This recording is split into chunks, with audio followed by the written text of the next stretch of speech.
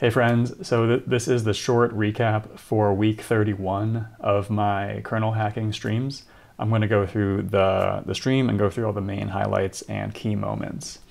Um, so for the first 14 minutes or so, I'm just kind of um, reviewing um, what happened last time, which is kind of getting into multi-core stuff around the 14 minute mark, I start going through some of these exercises and questions. And in particular, I start answering these questions about um, the difference or the differences between um, the, the bootloader code run on the application processors versus the bootstrap processor because I'm trying to bring up a multi-core system. So I kind of go pretty deep into that and explain that for a while. There's a lot of there's some unique details about linking, um, which require a specific macro to be used in the early boot code um, for the application processors because the that boot code is linked into the kernel, which is linked with um, high memory uh, addresses. So we need to have this macro that kind of does um, like a like a translation from um, the kernel virtual addresses back to physical memory because that code runs in real mode. Um, then around the 34 minute mark, I actually start programming and I'm working on the next um, lab in, in lab four, which is to map memory for all of the per CPU stacks. So up until this point, we've been running on a single core system with a single kernel stack.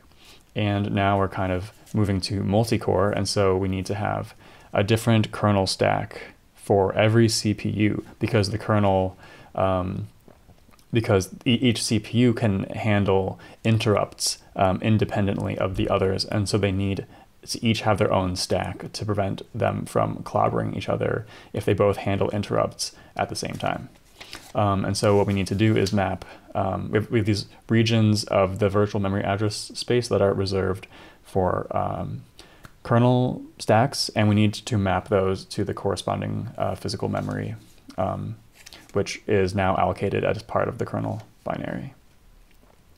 Um, around the one hour mark, um, I transition into the second exercise, which is the per CPU initialization of the trap and interrupt related um, registers and data structures. And so in particular, there's the TSS, which is used for, um, which is used as part of interrupt handling. Um, the TSS is used to uh, swap stacks onto the kernel's uh, stack in case an interrupt comes from, from user mode and needs to be handled by the kernel. Um, but as a consequence of us now having separate stacks for all the CPUs, we actually we need to actually have separate TSSs, which each point to these different stacks. And so that's what I was doing from there, setting up the the per uh, CPU TSSs.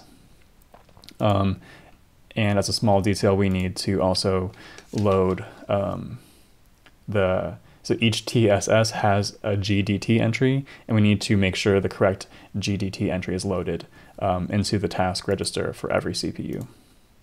Um, just kind of looking up the manual for some stuff. Around the one hour and 40 minute mark, I kind of finished that and I'm ready to actually test this. But I was actually having some trouble getting QEMU to actually produce um, multiple CPU cores. Um, something changed about QEMU since this class material was released, and it seems to be no longer sufficient to just pass a simple um, number to the SMP argument. So I went on a bit of a side quest to try to figure out what was going on here. Um, ultimately, I do figure it out around the one hour, 40 minute mark. And you can see, yeah, uh, four CPUs found, CPU one and two starting. But then I realized I actually had a bug because it, it, kept rebooting. And so I debugged my triple fault or whatever for, for a little bit. And I realized I was, um, I had a bug where I wasn't computing the, um, let's see if we can see it. I wasn't computing the, uh, I wasn't computing the GDT entry correctly to load into the task register. I was using a multiplication instead of an addition. Um, so, and that was that was like loading a invalid GDT entry into the task register, which caused triple faults, I think. Um, so after I fixed that bug, I think I just do it. Yeah, I changed it to a plus. After I fixed that bug, everything started to work and it didn't crash anymore. It said um, four CPUs found, starting one, two, three, all one after the other. Um, and then the last thing I did was moving on to the last exercise or the last exercise that I did in the stream.